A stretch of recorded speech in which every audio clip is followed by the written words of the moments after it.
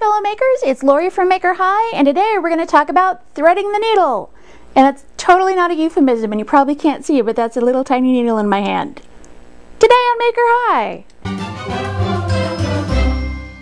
So generally most people will take the needle in one hand and they'll try and run the thread through the little eye of the needle and that is a really frustrating experience and if you insist on doing that I'm going to suggest uh, hitting the end of your thread with a little bit of hairspray because that'll stiffen it up and make it a little bit easier to thread through the needle. Uh, they also sell needle threaders at places like Joann's and that kind of thing but they are really thin metal and they break really easily and you can never find one when you need to.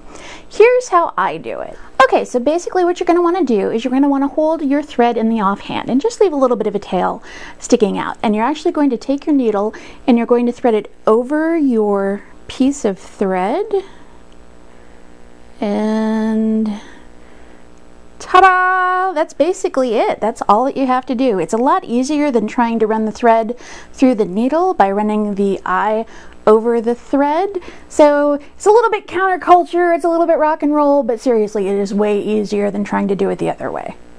Okay, so that's basically it. This is Lori for Maker High. Subscribe before I get yelled at again to remind you to subscribe. Mean. I've been told. Mm-hmm.